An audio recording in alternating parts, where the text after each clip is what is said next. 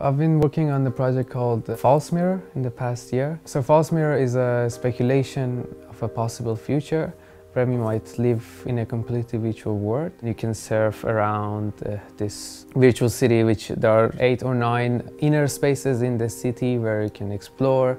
Each of them has different sort of rules and mental experiences. So it's a great playground to sort of speculate different spaces, times and bodies.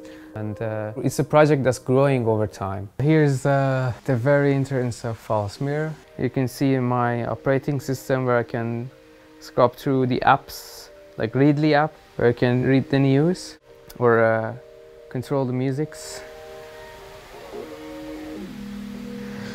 One small feature or idea can be developed uh, as a totally new sort of idea that can be lived with. If I point and trigger on each of these news articles of the city in my app, it could bring me into that exact incident or event and make me be part of it and see that happening. Usually my work is very much in a blurred line in between the fiction and non-fiction. It might be as real as this reality, but some things might be a little bit off or work a little bit differently. This is, for example, my vinyl music player, and each of these cubes are music. I like to sort of twist on top of the things that has been taken as granted in our perception and then play with them a little bit.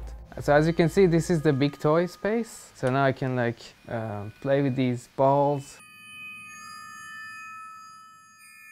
At the end of this room, there is a button. When you press this button, the whole room rotates uh, 90 degrees. And it's pretty mind-blowing in VR because when it's 90 degrees rotated, you feel like you're kind of falling down. The very powerful thing that relies just within VR is the possibilities of creation of any alternative space, time and body and being able to live within them. This project is more about speculation, asking new questions. What happens to your perception and to your mind when you live through this life for a longer period, like how this can change you as a person or a human. Are you still that human or are you becoming a post-human?